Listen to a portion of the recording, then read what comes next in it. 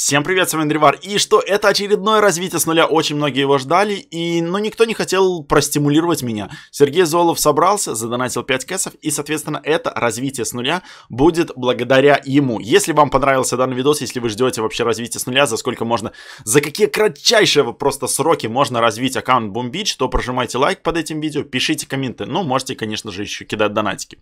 На этом аккаунте буду играть и с доп. рабочим, и... но без резервов, то есть, ну, в начале просто я считаю, что резерв не нужен. Самое главное в начале для быстрого старта это второй доп рабочий.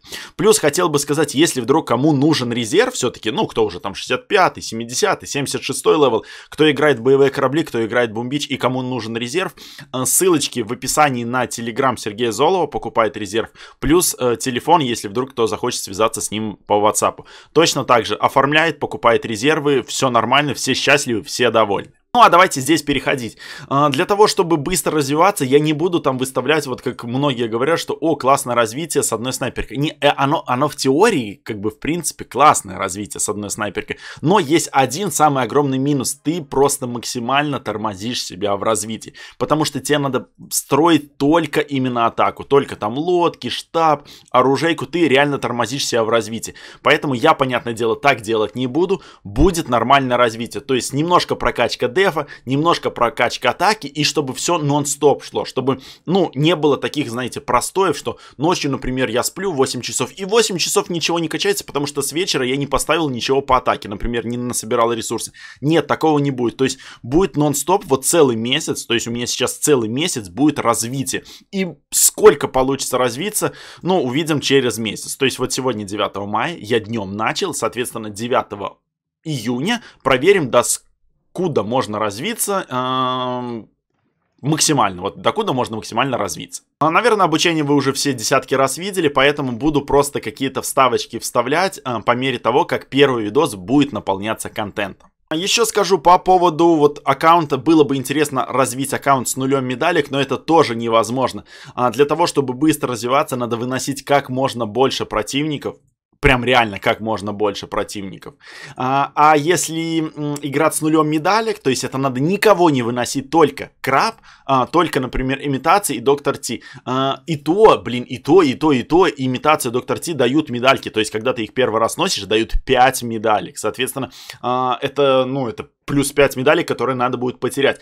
А обычных баз вообще не надо трогать. И это тоже не мой вариант. То есть мой вариант максимально, максимально быстрого развития в Бумбич. По поводу быстрого развития, я уже немножко там сказал, что для того, чтобы быстро развиваться, надо купить доп. рабочего. И вуаля, доп. рабочий куплен, и сейчас развитие пойдет еще чуточку-чуточку быстрее. Так получается, смотрите, я сразу могу построить, могу улучшить штаб, я это и делаю, потому что, ну, это самое-самое важное. А, плюс здесь что еще можно? Золотохранилище, ну, у нас есть возможность поставить сразу два здания на апгрейд, ставлю сразу два здания на апгрейд. То есть вот сейчас у меня идет уже ускорение x2 по скорости строительства. По поводу еще прям супер быстрого ускорения, конечно же, это можно покупать вот эти алмазики для того, чтобы ускорять здание, для того, чтобы не собирать ресурсы, а за ресурс, ну, то есть тратить алмазики на строительство зданий э, вот на, на эти ресурсы, но, блин, это чересчур дорого, и я бы не советовал э, этим заниматься. Все-таки второй доп. строитель для развития это более чем достаточно. Вполне возможно, в начале где-то второй доп. рабочий будет проставить, потому что, ну, невозможно прям э, все моментально быстро э, ставить на апгрейд, но в целом я буду стараться, чтобы, ну, такого не было ставлю еще, то есть у нас 2 минуты, 2 минуты, за, этот, э, за это время можно попробовать напасть на кого-то и добыть дополнительные ресурсы на нашей карте. А у меня есть, как видите, бабки для того, чтобы открыть новые зоны давайте, собственно говоря, пока этим займемся. Ну, у меня нету еще оружейки, куда, куда тратить эти бабки. Соответственно, только на открытие новых зон, новых карт. И это прям 100% надо будет всегда делать, потому что э, чем больше вы видите, тем больше вы можете нападать. Дальше пойдут Доктор Ти-1, Доктор Ти-2. Э, потом это пойдет Эверспарк Гирхард. А, здесь это, наверное, булит будет скрыт. Вот здесь где-то. А, здесь это, ну, обычно ванпост. Здесь, наверное, это, по-моему, доктор Каван. Здесь, наверное... А, здесь, кстати, может быть, где-то вот. Либо здесь, либо где-то здесь вот имитация будет. Ну, реально, карта очень нужна. И, соответственно, прокачка радара это основной тоже критерий. Каждый бой получаете плюс медальку и опача и сундуки. А, эти сундуки вам нужны для того, чтобы собирать и алмазики, и ресурсы. Здесь давайте я сейчас чуть-чуть по времени, может быть, надо будет взять... Не... То есть я бы советовал, на самом деле, брать алмазы, а все-таки ресурсы добывать с баз. И точно так же с операцией брать чисто алмазы, а ресурсы добывать с баз на карте. Но иногда можно отступаться от этого правила, иногда все-таки можно брать какие-то ресурсы, если вдруг они вам прям вот, вот, вот прям очень надо. По поводу рангов для начальных э, левелов хотел бы акцентировать внимание, чем выше ранг, тем больше ресурсов вы будете получать за этот сундук. Ну, получается 700, если перехожу на следующий, то получу вот это. И если, блин, ну, наверное же, да, если я его не открою, я должен получить вот, вот это. Сейчас проверим. Сразу набиваем канонерку для того, чтобы снести пулики. Но здесь пулики расположены вместе. И, соответственно, если здания расположены вместе, если они примыкают друг к другу, то артиллерия сносит сразу два здания. То есть, ну, если бы здесь было 4 вот так прям вплотную, либо штаб бы стоял вот здесь вплотную, точно так же э, демаг бы наносился штабу. Блин, я реально не могу улучшить радар. А как так-то? Подождите, подождите, может быть из-за того, что два доп рабочих, я дайте-ка ускорю? Я реально радар не могу улучшить. А, а почему?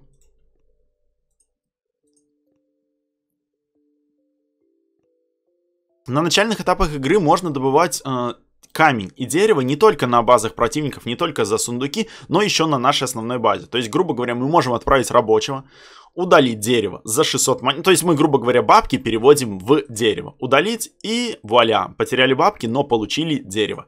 И после этого можно поставить штаб на апгрейд. Еще оружейка впереди у меня, но я думаю, что скоро к этому приду. Плюс на начальных этапах игры нет кнопки как бы ускорить быстро, и надо в каждую лодку заходить и каждую лодку укреплять. Ну что, маленький лайфхак проверяем. И если мы подняли ранг и заходим в сундуки, и опача, наград становится гораздо больше, потому что я уже рядовой второго ранга. А, мне надо было дождаться. А, что-то не отрабатывало. Короче, я перезашел в игру, зашел обратно, и мне написало, что э, для того, чтобы улучшить радар, вот, ну, вы, вы видели, это вот э, тутор вот этот был. И, соответственно, сейчас я буду вводить имя, и после этого, наверное, можно будет улучшать радар. Я по ходу понимаю так. Ну, короче, какой-то баг был, что не сразу появлялась вот эта полоска «Введите имя». А, блин, тут, вы знаете, не хватает символов. Я не могу написать развитие с нуля бай Сергей. Ну, то есть, типа, кто спонсор данного развития с нуля. Ладно, написать бай Сергей не могу, но знаете, это развитие с нуля получилось чисто благодаря Сергею Золову, что он задонатил. Потому что никто не хотел... Все хотели увидеть развитие с нуля, докуда можно развиться, за сколько можно это развиться, но никто не хотел поддерживать данный проект. Поэтому большое спасибо еще раз ему. И, короче, после того, как я ввел имя, появилась кнопка нашего магаза вот этого, и здесь появились подарки.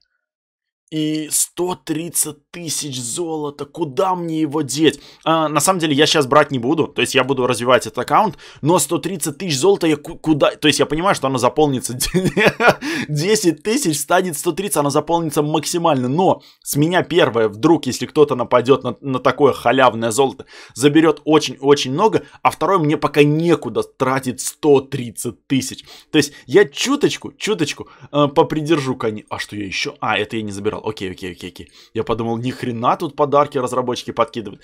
Плюс по поводу мгновенного обучения, если вдруг кто там начинает, не, не знает, как это работает, смотрите, у нас осталось два дня. То есть э, в течение двух дней я могу нажать на эту кнопку и бесплатно получить мгновенное обучение, и оно сразу же прям начинает работать. И будет работать в течение 7 дней. Но если я возьму по в конце, через два дня, оно точно так же будет работать 7 дней. То есть не обязательно прямо сейчас брать. Вот сейчас мне оно не надо. То есть я возьму лучше его через два дня, когда, ну, чуть будут другие войска, может, чуть больше прокачаюсь, и там надо будет вот побыстрее восстанавливать. Пока мне это точно не надо. Сейчас все очень легко идет. И точно так же бабки. Так, что сейчас еще в первом видосе можно рассказать? А, по поводу канонерки, это, ну, вы поняли, это возможность бросать нашу артиллерию, потом дальше фитили, шоки, дополнительные какие-то э, плюшки, и здесь мы видим в самом начале 14 заряда канонерки. Э, Потом она дальше будет расти, по-моему, до 50 или 52. А, соответственно, вот с помощью этого заряда мы можем бросать за, э, нашу артиллерию. Чем больше этого заряда, тем больше можем бросать. По поводу вот этой лодки, если вдруг кто не знает, пока она привозит мне а, только а, золото. Это вот 21 час, где еще? 21 час, то есть чем больше вот таких наших архипелагов находится под нашим контролем, а это находится под нашим контролем, тем больше мы будем получать золото. После того, как мы начнем открывать э, добыва... аванпосты, добывающие шахты, нам эта лодка будет привозить и дерево, потом и камень, потом и железо. Ну и по поводу, как повышаются левела, вдруг там, ну я, я не верю, что кто-то будет смотреть, вот кто ни разу не играл в Boom Beach, но мало ли. А, здесь в самом верху находится цифра нашего левела на данный момент. И левела повышаются за счет прокачки наших зданий, плюс за счет прокачки оружейки. То есть вот, грубо говоря, до следующего левела, чтобы получить четвертый левел, мне еще надо очко. А, например, заходим сюда, мы получаем 5 очков за прокачку. Заходим, ну, в каждом, абсолютно в каждом здании есть. Заходим сюда, получаем 2. То есть, любое здание, которое бы сейчас не проапгрейдил, я везде получу очки и получу уже следующий левел. Точно так же и будет в оружейке. Мы будем прокачивать наши какие-то войска, улучшать их и будем получать точно так же этот опыт для повышения нашего левела. Вдруг, если кто-то вот, ну, прям мало ли есть, кто не знает, что это такое, это покинутая хижина. А, здесь появится наш первый герой, это будет бричка, но с четвертого левела штаба. То есть я сейчас, наверное, и улучшаю... Не, я пока, фу, я пока еще улучшаю только на третий, а потом только на четвертый, и после этого откроется первый герой. То есть надо будет ее еще восстановить, по-моему, за... или за дерево, или за бабосики, и после этого уже мы получим первого нашего героя в игру. Как только вы собираете сундук, получается, начинает тикать таймер, и после истечения таймера появится возможность снова заполнить этот сундук э, за счет 5 звездочек. То есть надо будет вынести либо 5 противников, но иногда дается по 2, но в целом это, грубо говоря, заработать 5 звезд. Плюс хотел бы обратить внимание, что штаб имеет свое количество хп. То есть вы, грубо говоря, можете посмотреть 2000. Но... Эм, если вы сносите какие-то здания на базе, вы тем самым немножечко, но наносите демаг штабу. Давайте сейчас покажу. То есть вот, грубо говоря, начнем э, с двух сторон. Будем сносить вот эти склады, потом пулик. И тем самым... Сейчас давайте пам-пам. Вот, мы снесли одно здание, нанесли дымак, снесли второе, нанесли дымак, снесли третье, нанесли дымак. И так, грубо говоря, чем больше вы сносите зданий, тем больше вы наносите дымак вашему штабу. Ну и плюс с артиллерии можно. Видите, мы, мы еще к нему не подошли, ну по, по факту-то толком, а мы его уже снесли. То есть вот это такой плюс или минус. Boom Beach э, в Clash of Clans такого нет. Опача, первое выполнение. Первые халявные гемасики. Так, после того, как вы улучшаете радар на следующий левел, вы открываете дополнительную возможность открывать какие-то зоны. Так, Здесь, здесь, здесь. Короче, еще на этом я ни, откро... ни одного доктора Ти или а, а, аванпоста не увижу, поэтому просто, грубо говоря, трачу оу-оу-оу, но зато увижу первого поца. И давайте в этом видосе еще снесем одного противника, живого, настоящего. Ух, будет жестко. То есть, в принципе, у меня нет фитиля, если вдруг что. Если не знает, кто получит эту статуэтку, просто подключайте Supercell, и она автоматически появится в украшениях. Ну, это так, маленькие отступления. У меня поэтому нет ее на базе, потому что я через Google а, аккаунт играю. За противника точно так же, как и за обычные базы на карте нейтральных игроков, вы будете получать а, золото и, ну, вообще ресурсы, давайте скажем так, плюс медальки. За обычных игроков там вы получаете либо одну, либо две в рандоме. За а, игрока, за живого реального игрока, вы будете получать всегда минимум две медальки. Попробовать можно, прям прям реально попробовать можно, но мне кажется, у меня ни хрена не получится. То есть мне надо будет снести мортиру, а, потому что она будет реально сдалека бить, я ничего не смогу сделать. А вот со снайперком я реально не представляю, что сделать. Да, короче, просто ради эксперимента реально пробуем. Давайте пробуем. И будет, будет что будет. То есть сюда раз, два. То есть вы помните, наискосок бьем, чтобы э, как можно больше э, задеть зданий дополнительных. Не, не заберу. Класс, не заберу. Короче, надо будет на этого поиска нападать еще, а, когда я открою э, оружейку, когда я дополнительно открою э, какие-то войска. Плюс одна защита ему. Вот чисто тупо плюс одна. Красавчик. Вообще по дефу прям реально топ. Но перед тем, как мы закончим, я прям очень сильно надеюсь, что вы все-таки не будете акцентировать внимание на прокачку дефа. Все-таки самое главное вот это прокачивать лодки, чтобы они у вас были максимальны. Канонерка, чтобы была максимальна. Штаб, чтобы был максимальный в развитии. Радар, чтобы был максимальный. И вы могли открывать дополнительные зоны и, соответственно, видеть все больше и больше. Плюс оружейка и там в оружейке виды войск.